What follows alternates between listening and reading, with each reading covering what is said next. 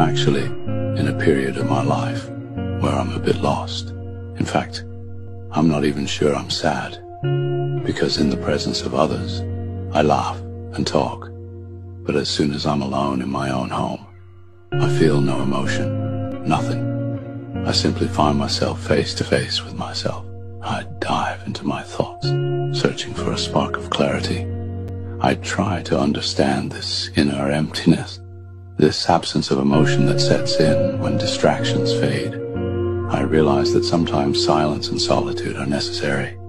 They force introspection. Yes, it's uncomfortable. Yes, it's confusing. But maybe it's my mind's way of telling me it's time to take a moment for myself.